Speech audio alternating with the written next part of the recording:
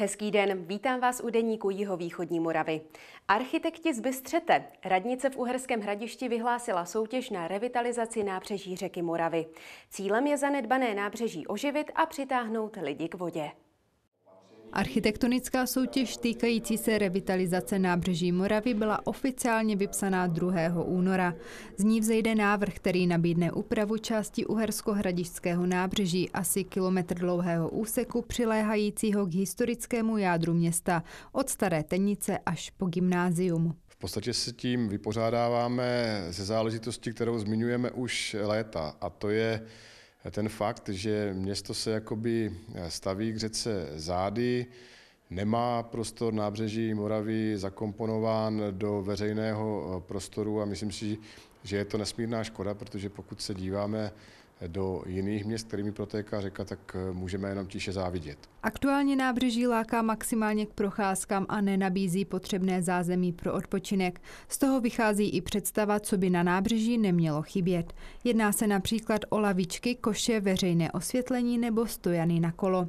Zadané jsou také herní prvky pro děti, posilovací stroje nebo umělecká díla a lepší přístup k vodě. V plánu je i vybudování lávky pro pěší přes Moravu a částečná úprava pravé pravého břehu v místní části rybárny. Chceme skutečně prostě návrh toho autora, inspirace z jiných měst samozřejmě je na snadě a já se velice těším na ty soutěžní návrhy. Termín pro odevzdání návrhu je 2. května. Koncepty posoudí a vítěze vybere odborná porota. Město chystá výstavu všech návrhů, se kterými se seznámí i veřejnost. Harmonogram prací ani očekávané náklady v současné chvíli nelze odhadnout. Řádově se mohou pohybovat v desítkách až stovkách milionů korun. Radnice hodlá upravovat nábřeží po etapách a chce dosáhnout i na evropské dotace. Každý rok v období Valentína se koná Národní týden manželství. Je to příležitost pro všechny páry zaměřit se na svůj vztah. Ve Zlíně uspořádali na toto téma seminář i řadu akcí. Dobré partnerské vztahy jsou jedním z předpokladů pro kvalitní život. Je důležité si připomínat, že spokojené manželství není samozřejmostí. Týden manželství ve Zlíně je příležitostí pro ty, kteří chtějí pracovat na kvalitě svého vztahu. Proč týden manželství? Eh, Jeden den je určitě málo, celý měsíc by to možná taky nevydrželi, takže řekla bych, že ten týden to je taková, jak bych řekla, základní jednotka, od které se odvíjí celý rok, že 54 týdnů, takže ten jeden týden. V sobotu 10. února mohli zájemci navštívit seminář v Baťově institutu. Irena a Petr Smékalovi prezentovali téma Sebeúcta v manželství.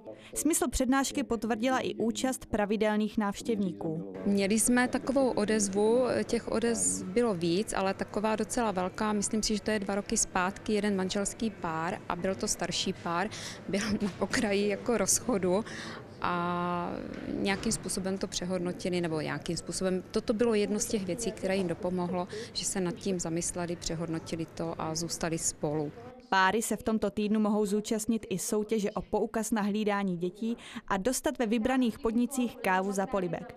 Webové stránky Manželství ve Zlíně nabízí také SMS s výzvou. Zaregistrovaným přijde zpráva, co mají v daný den udělat pro svou polovičku. Ukázku ze života Romů v Čechách a na Slovensku na přelomu 19. a 20. století nabízí v současné době výstava v Městské knihovně v Hodoníně. Muzeum romské kultury ji připravilo z historických fotografií. Snímky, které potvrzují tradiční kliše šířená společností o životě Romů v 19. a první polovině 20. století, ale taky fotografie je, že vyvracejí ukazuje výstava nainstalovaná v městské knihovně v Hodoníně. Vedle Romů na vozech nebo v jejich pestrém oblečení tu uvidíte portrét romských chlapců ze Sudet, které téměř nerozeznáte od německých obyvatel této oblasti. V knihovně máme eh, zapůjčeno 34 reprodukcí originálních fotografií, které pochází z různých sbírek. Eh, tyto černobílé fotografie eh, pochází zejména z, z díla dvou fotografů, českého fotografa Rudolfa Brunera Dvořáka a slovenského fotografa Josefa Kolerčíka Fintického. Eh, tyto originály jsou uloženy ve sbírkách a buď tedy českého eh, historika fotografie Pavla Schäuflera, který působí v Praze. Eh, dále jsou fotografie ty originální uložené v muzeu v Prešově, v Krajském muzeu a dále také některé fotografie jsou ze Slováckého muzea v Uherském hradišti nebo z dalších soukromých sbírek. Fotky ukazují zejména kočovné Romy, kteří do Čech putovali ze Slovenska, kam přišli z Rumunska. Jsou tak ukázkou jedinečné kultury, která se už vytratila. Ve své době inspirovala i zavedené fotografy, aby ze svého ateliéru vyrazili do terénu. Například ten Rudolf eh, Brunner Dvořák eh, měl ateliér v Praze a zachycoval jak architekturu, eh, tak dělal i klasické portrétní ateliérové fotografie, ale když si přečtete jeho životopis, to toho neuspokojovalo naplno, a věnoval se dokumentární fotografii, takže vlastně i ty život Romů sledoval, zachycoval a například fotil i Františka Ferdinanda d'Este a podobně, takže vlastně byl to jako významný fotografický ateliér. Kočovní Romové nebyli většinou v českých obcích vítáni a tak je na panelech třeba fotografie z cedulí, na které je nápis zákaz vstupu cikánů nebo snímek vyhánění Romů z vesnice za policejního doprovodu. Najdete tu ale také romského kováře. Právě toto zaměstnání bylo typické pro usazené Romy. Jedny i druhé ale čekal neblahý osud. Velká část z nich skončila svůj život v koncentračních táborech. I proto se výstava fotografií z přelomu 19. a 20. století jmenuje Krásné časy. Hanna Maciochová a Jaroslav Satoranský zavítali do Hulína. Divákům představili komorně laděnou inscenaci Ještěrka na slunci. Hra zachycuje odvrácenou tvář skandálního života divadelní ikony Sáry Bernartové. V roli oddaného tajemníka George Pitoa se představil Jaroslav Satoranský. Sáru legendu francouzského divadla stvárnila herečka Hanna Maciuchová. Sára Bernádová pro mě vůbec nebyla složitá, protože eh, jsem velmi rychle zestárla do jejího věku. Takže všechny problémy té role velmi osobně znám. Takže problém pro mě nebyla. A mám ji velice ráda. Divákům se nabízí pohled na svět přelomu 19. a 20. století. Nemocná Bernhardtová vede jímavé i groteskní hovory s Pitoem, který trpělivě snáší její rozmary i hašteřivost. V životě jsem neviděla chlapa. Co chlapa? V životě jsem neviděla zvíře takhle porostlé chlupama. Měli Byl to velice bohatý pán. To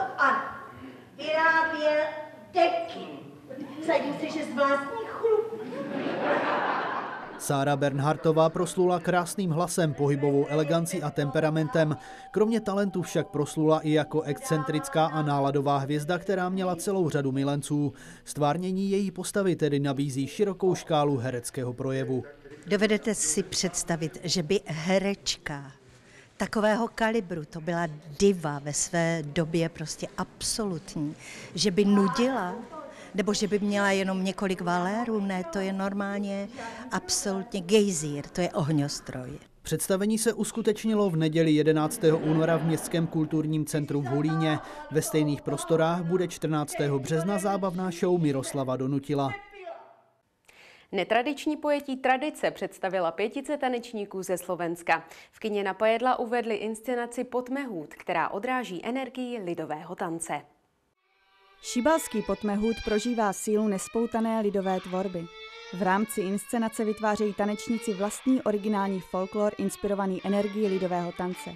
Realizovat představení bylo možné díky Fondu na podporu umění. Choreografom je maďarský Slovak Čaba Molnár, který teda žije v Budapešti, ale s nami spolu ten projekt uh, tvoril v Prahe. Uh, vždycky tam máme, je tam 5 stálých tanečníkov a jedného hostia. Na husliach nás doprovádza, doprovádza Tomáš Vtípil, to je český hudobník z Brna a svetelný dizajn robí Štěpán Heisler, tiež z Prahy. Každý z tanečníků vnáší do tance svou vlastní zkušenost a osobnost.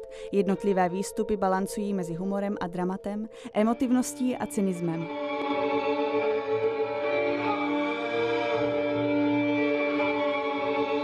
My sme teda tanečníci, ktorí sa venujeme súčasnému tancu, čo je niečo úplne iné.